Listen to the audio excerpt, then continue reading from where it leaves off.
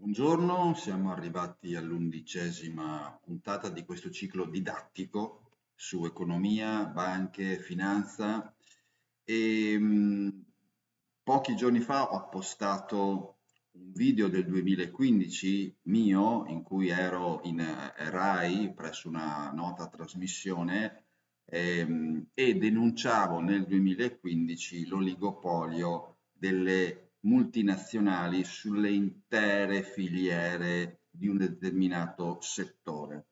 Grandi complimenti dopo quella trasmissione, ma poi la RAI da allora non mi ha più chiamato a parlare praticamente su nulla, men che meno sull'energia. Ma eh, oggi voglio darvi, ricordarvi quella, quella che è la situazione degli oligopoli e quindi eh, prendo questa volta come punto di riferimento direttamente una mia pagina relativa eh, e quindi non dovete preoccuparvi dei link che vi mostrerò perché sono tutti indicati appunto in questa pagina. E, e in questa pagina trovate appunto un riassunto della situazione mondiale a livello appunto di oligopoli, quindi pochissime aziende che controllano intere filiere. Ora, innanzitutto vi faccio vedere quella che è una delle prime fonti che ho usato, ma ripeto, tutti i link li trovate direttamente nella pagina, quindi non dovete preoccuparvi. Questo è il Centro Nuovo Modello di Sviluppo che negli anni ha rilasciato tutta una serie di rapporti, diciamo, molto eh, ben fatti e diciamo anche molto considerati eh, negli ambienti del, del, terzo settore e che cosa dicono, in, cosa dice in sintesi eh, questi, questi rapporti sulla situazione mondiale? Beh, facciamo finta che gli stati, consideriamoli delle aziende, consideriamo che gli stati, le nazioni siano delle aziende. Ora, se noi dovessimo fare una, una classifica delle prime 100 aziende al mondo, 100 economie al mondo, prendendo appunto anche le nazioni e considerando il loro fatturato, scopriremo che sulle prime 100 aziende in termini quantitativi di quanto, di quanto profitto fanno, le prime 70 sono multinazionali. Le prime 70 sono multinazionali. Su, sulle prime 100 economie mondiali, considerando aziende private e stati, nazioni, ecco le prime 70 su 100 sono multinazionali. Multinazionali che controllano l'80% del commercio internazionale, producono il 30% del prodotto interno lordo mondiale. Ora, oh, oltre a questo, c'è stato sempre già negli anni passati una ricerca del Politecnico di Zurigo e vi faccio vedere anche in questo caso la, eh, la fonte. Eh, stiamo parlando ancora del 2011, eh, le cose vedremo che poi sono peggiorate ancora. Comunque già nel 2011 questo, eh, il Politecnico di Zurigo, e questo è uno sito svizzero che ne parla, appunto diceva ehm, l'economia globale è sostanzialmente controllata da 147 multinazionali, ma attenzione, ehm, i tre quarti di questi 147 multinazionali, i tre quarti sono istituti finanziari. Quindi quello che vi dicevo nelle puntate precedenti, che banche, fondi di investimento, che sono naturalmente estremamente intrecciati con proprietari gli uni con gli altri, ehm, controllano il pianeta eh, economicamente e quindi anche politicamente, eh, è stato diciamo, tracciato mh, da, da, da, questi ricercatori del Politecnico di Zurigo che hanno preso gli intrecci azionari, le compartecipazioni e appunto hanno scoperto che c'è questo super oligopolio in cui la, la, la la parte assolutamente del leone la fanno gli istituti finanziari ed è per quello che io al termine di ogni puntata vi esorto sempre a valutare l'opportunità di eh, verificare come la vostra banca utilizza i vostri soldi. Vi, vi dico già io che se sono le grandi banche li utilizzano male, nel senso che comunque finanziano petrolio, finanziano armi, c'è riciclaggio di denaro sporco più o meno inconsapevolmente, c'è sicuramente un'enorme eh, fetta del loro business, la maggioranza del loro, delle loro attività ormai è sulle speculazioni, perché si può guadagnare molto di più. E per, cui, per, per cui ogni volta vi esorto a passare alla finanza etica. Non dovete essere esperti, basta solo che, che diventiate clienti. Esattamente come quando andate al mercato e eh, comprate la frutta e la verdura che potete spostarvi da una bancarella all'altra. Ecco, anziché da una bancarella all'altra, spostatevi da una banca all'altra. Ora continuiamo con la situazione mondiale. Eh, vi ho fatto una puntata specifica sulla gravissima crisi mondiale 2007-2008 che ha avuto ricadute appunto globali pazzesche da cui ci dobbiamo ancora eh, riprendere del tutto. Eh, attenzione, gli indici azionari non hanno mai ripreso quei, quei valori, siamo ancora, eh, ancora in crisi, diciamo da, da, dal 2007-2008.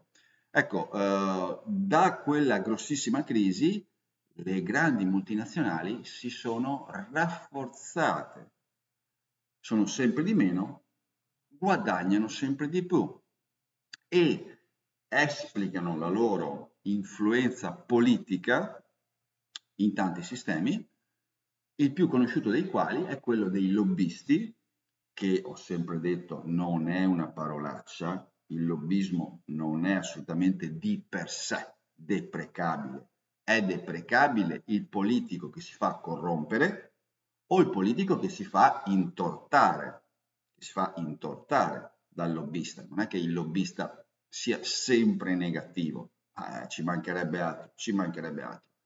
È che eh, dalla parte finanziaria ci sono pressioni estremamente rilevanti per mantenere lo status quo così com'è. E eh, questo per esempio è eh, ribadito non molto spesso, ma ogni tanto viene fuori la notizia, questo è il manifesto, quindi io vi faccio vedere giornali, diciamo così, tra virgolette, importanti, per far capire che ogni tanto viene fuori la notizia, perché comunque ogni tanto un po' di scandalo fa sempre bene, ripeto, non è uno scandalo il, che ci sia l'attività di lobbismo, lo scandalo è quando c'è troppa ehm, accondiscendenza, per essere buoni, eh, o meglio, lo scandalo è quando il, quando il politico, ripeto, si fa corrompere, si fa corrompere oppure si fa intortare appunto dai lobbisti. Ecco, vedete, lobbisti che sono 40.000 a Bruxelles. Lobbisti che a Bruxelles sono 40.000 e io ricordo ancora una volta che ogni nazione deve, deve obbligatoriamente rispettare regolamenti e direttive europee, che sono appunto le leggi, chiamiamole così, europee. E quindi eh, la, la, la conseguenza è che la stragrande maggioranza di tutto ciò che si fa a Roma, che noi consideriamo importante, è già stata decisa a Bruxelles. È già stata decisa a Bruxelles. Se non in tutto, in parte, ma le parti essenziali essenziali, cioè i principi guida, i principi cardine, la direzione. Quindi io continuo a ripetere, dovreste guardare dei telegiornali che parlano di Bruxelles, dovreste leggere dei giornali che parlano appunto del Parlamento europeo, dell'Unione Europea, perché è lì che si decide, è lì che si decide. E i lobbisti a Bruxelles sono 40.000. Mi verrebbe da dire la classica battuta romana, ma penso possiate immaginabile. In una delle precedenti puntate, anzi, ehm, eh, finiamo il discorso con, la, eh, con ricordare il deprecabile fenomeno delle porte girevoli. E anche in questo caso ho messo uno dei tanti articoli che ne parlano, in particolare questa eh, associazione che si occupa proprio di mettere nero su bianco su un registro visualizzabile a tutti, loro sono privati ma fanno questo registro visualizzabile a tutti, in cui cos'è che registrano? Registrano appunto il fenomeno delle porte girevoli, che come con un minimo di fantasia si può immaginare, è quando una persona che ha avuto incarichi pubblici, pubblici passa dall'altra parte della barricata.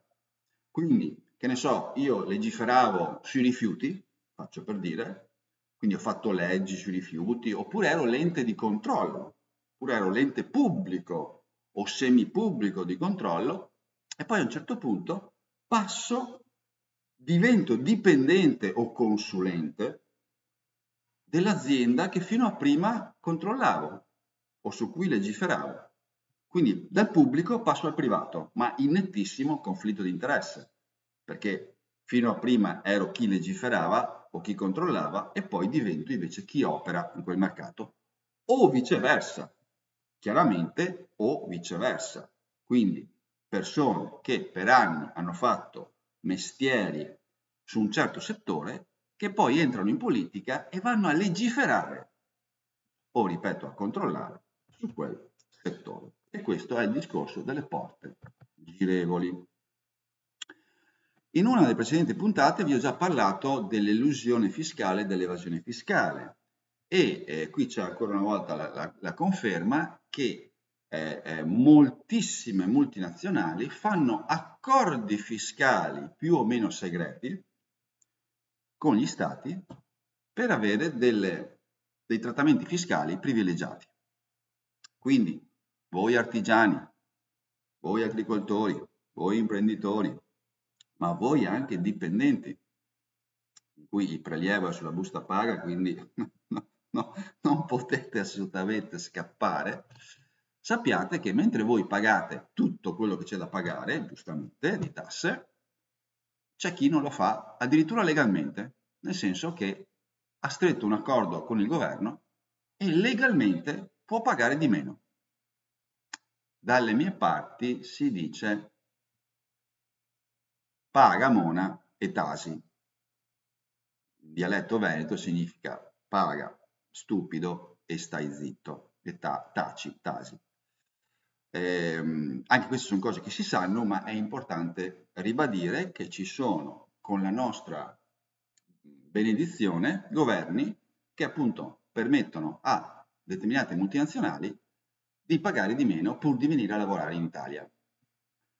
Ora, per carità, il discorso è delicato, perché certo, noi abbiamo bisogno di posti di lavoro, certo, abbiamo bisogno che le aziende vengano a investire da noi, ma non sarebbe meglio farle venire perché c'è un ambiente consono allo sviluppo delle, delle industrie, quindi infrastrutture che funzionano, burocrazia che funziona, rispetto delle leggi, rispetto, insomma, un ambiente generale e fra l'altro facendo pagare tutti si potrebbe abbassare per tutti il livello di tassazione. È il solito discorso, se tutti pagassero le tasse si potrebbe avere un livello di tassazione decisamente più basso.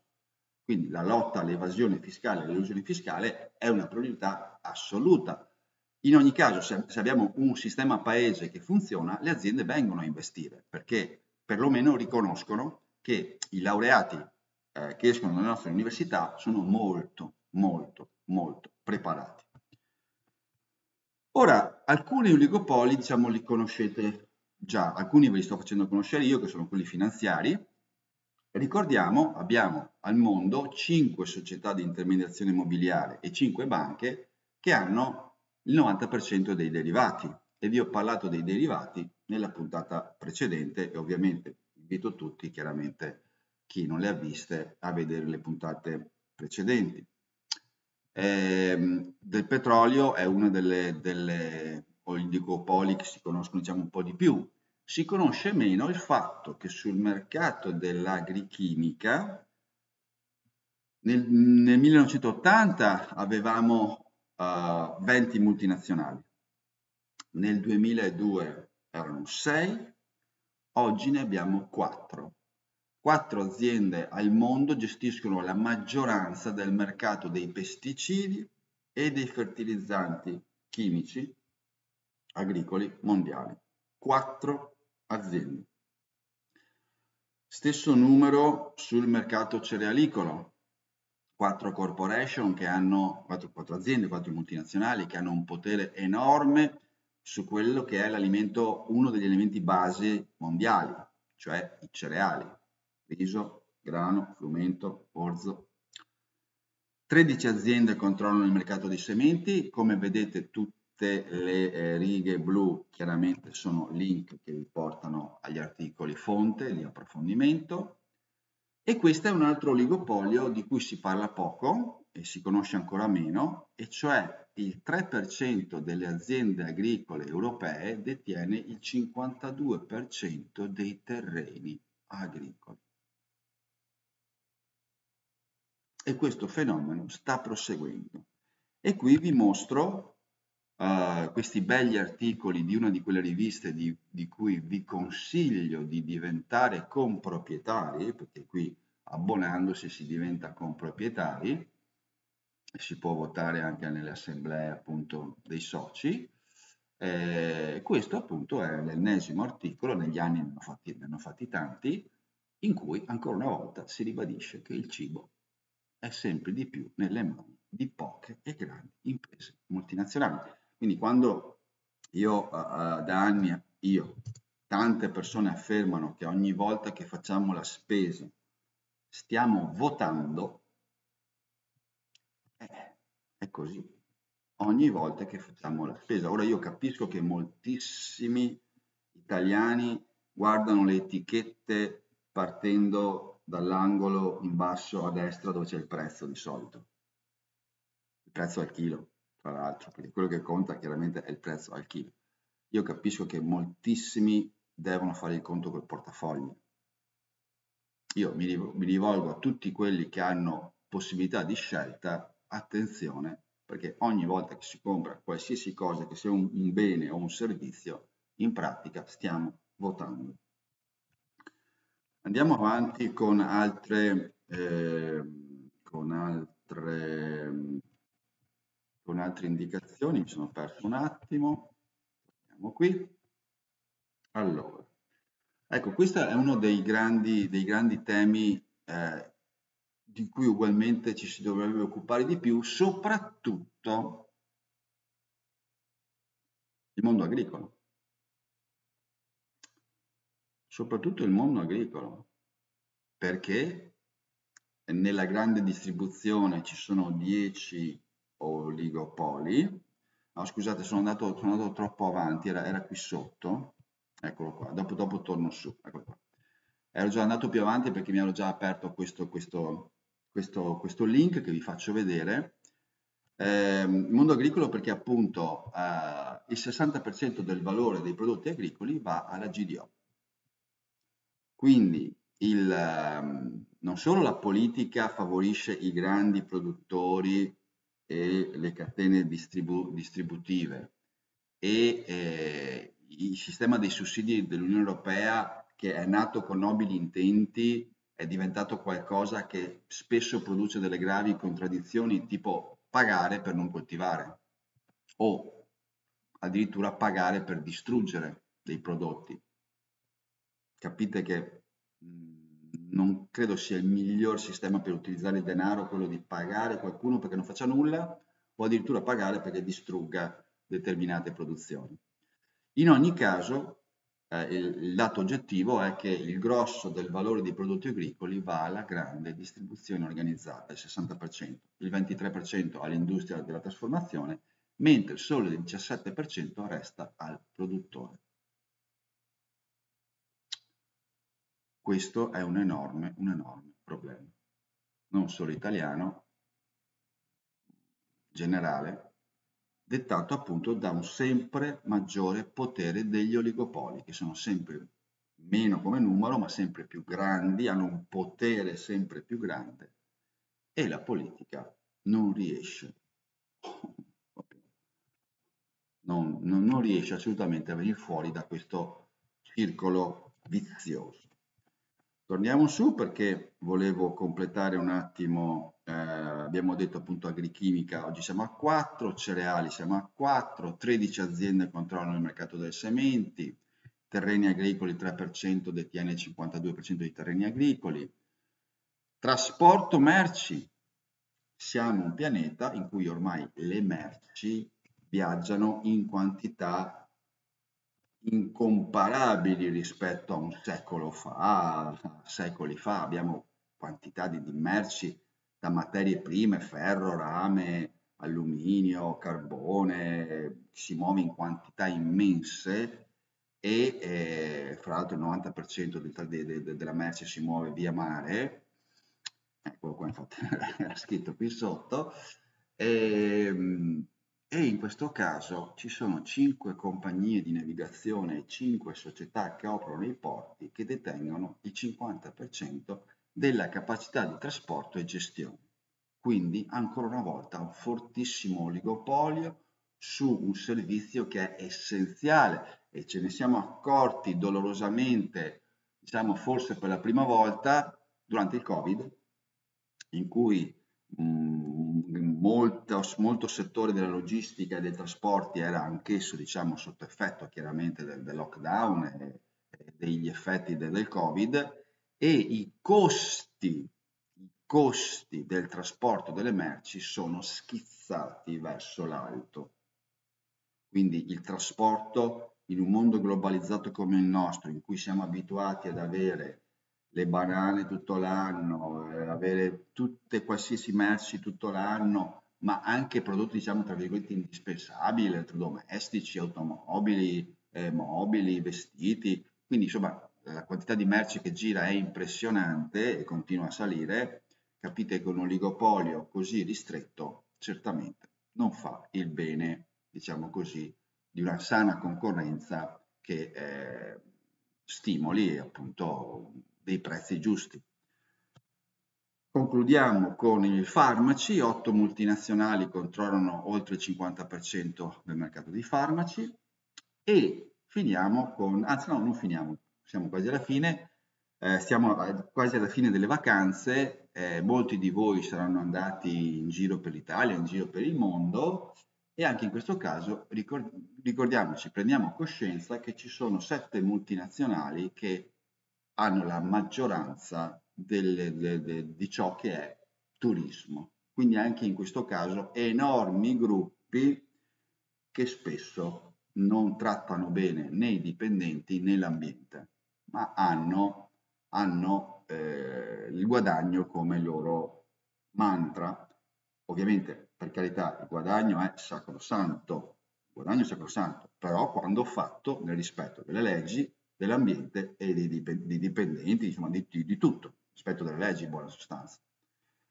E, ehm, quindi ancora una volta vi invito a riflettere sul fatto che tutte queste multinazionali, che, tutti questi oligopoli che brevemente vi ho raccontato, sono detenuti in grande maggioranza dai fondi di investimento, di cui ho fatto la puntata eh, due puntate, tre puntate fa, e, e, molto probabilmente voi senza saperlo, se avete risparmi da parte, se avete risparmi in banca, in fondi di investimento, con il vostro denaro rafforzate questi oligopoli.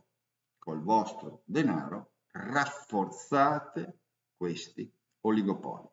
Quindi, ancora una volta, vi invito a usare la finanza etica che non investe in questi oligopoli, che non investe in questi oligopoli, punto esclamativo. Punto esclamativo. I bilanci sono pubblici e tutti i finanziamenti alle persone giuridiche sono pubblici sul sito. Non occorre che siate clienti, non occorre che siate soci, potete vedere tutti i prestiti fatti alle persone giuridiche. Alle persone fisiche no, c'è un, un, discorso di privacy. Posso mettere sul sito che ho prestato 100.000 euro alla famiglia Rossi, c'è un discorso di privacy. Legittima, ci mancherebbe. Ma alle aziende, alle persone giuridiche, alle aziende, alle fabbriche, alle imprese, sì. E provate a chiedere alla, alle altre banche se mai e poi mai renderebbero pubblici i loro finanziamenti appunto ad imprese di tutti i tipi. Ultimo oligopolio, forse più importante, forse più subdolo, è quello dell'informazione. È quello dell'informazione. Eh, ora, a me viene in mente che questo mio video lo vedranno relativamente poche persone e ehm, sta di fatto che l'informazione è tutto, è tutto, noi facciamo, tutto ciò che facciamo nella vita dipende dalle informazioni che abbiamo avuto in precedenza. Fino a sei anni crediamo che Babbo Natale esista, perché fino a sei anni tutti ci dicono che esiste. I genitori, gli zii, i nonni, i parenti, le maestre, tutti, tutti ci dicono che Babbo Natale esiste, lo dicono in maniera convinta e, e il giorno di Natale troviamo il regalo e ci sono i cartoni animati, ci sono le storielle, ci sono le pubblicità con, con tutti questi eh, vecchietti eh, ben messi fisicamente con la barba bianca e fino a sei anni noi siamo convinti che Babbo Natale esiste e ci comportiamo di conseguenza e quindi scriviamo la letterina oppure diciamo al papà e alla mamma eh, per favore dite a Babbo Natale che l'anno prossimo mi porti questo o quell'altro. Noi facciamo esattamente quello che possiamo fare in base alle informazioni che abbiamo ricevuto.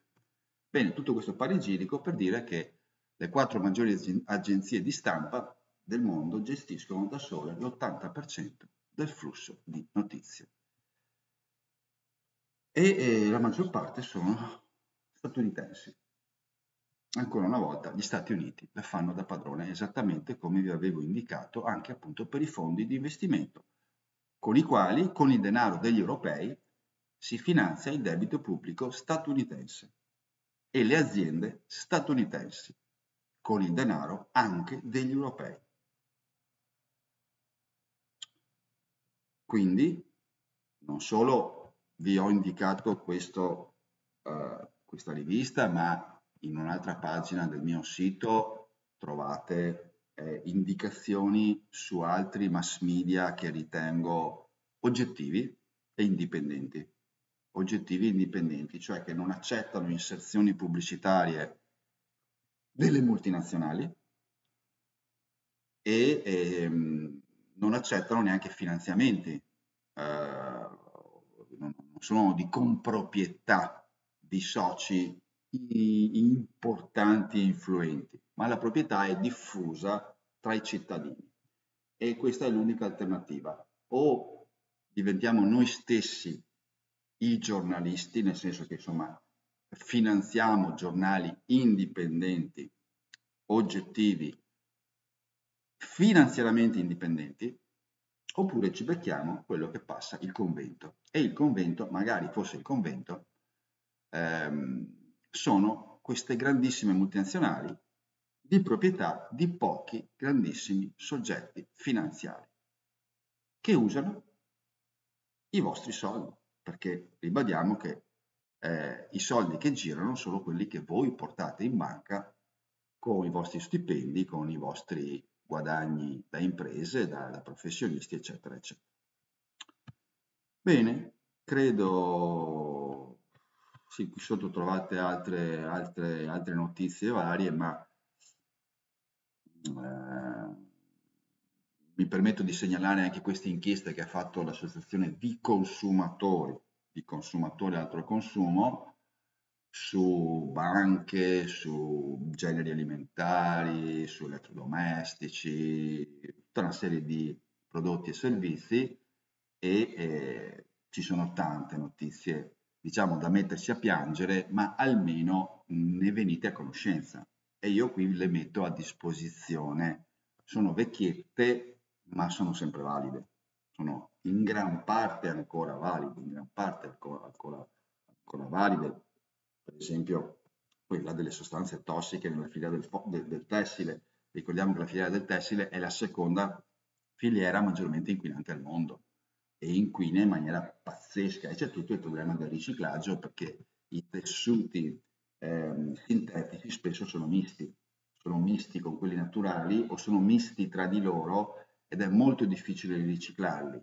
In generale è molto difficile riciclare le plastiche, le plastiche, perché il riciclo che si fa attualmente è tra virgolette un riciclo, perché ci si limita a, a suddividerle per categorie, a, a, a romperle, farle diventare, ma, ma, non viene il verbo, a triturarle, a triturarle, farne una granella finissima, poi rifonderle aggiungendo però molta plastica nuova e fare degli oggetti che in parte sono riciclati, ma questo si può fare due o tre volte al massimo, dopodiché non si può fare più, per cui il problema delle plastiche sarà problema uno dei problemi, dei problemi del futuro, perché microplastiche e nanoplastiche ce le stiamo letteralmente bevendo e mangiando, ce le stiamo letteralmente bevendo e mangiando, quindi direi che è decisamente il caso di occuparsi delle plastiche. E la cosa è comprovata dal fatto che non se ne parla, se ne parla poco, se ne parla poco perché c'è un, un intero sistema produttivo da cambiare, cosa non da poco cosa non da poco, ma la, la, se non facciamo qualcosa continueremo a mangiarcele e a berle assolutamente. Quindi detto questo vi ringrazio, se avete piacere eh, naturalmente condividete con amici e parenti, ricordo sempre che eh, ho messo gratis a disposizione il resoconto per argomenti delle cose che ho fatto nei miei dieci anni in Senato, lo trovate nel sito di Edizioni Ambiente, si intitola Io voglio parlare di energia e appunto è un resoconto con tutti i link ai atti e fatti ufficiali in maniera che uno può verificare che quello che racconto è la realtà. Bene, grazie a tutti e appuntamento alla prossima puntata.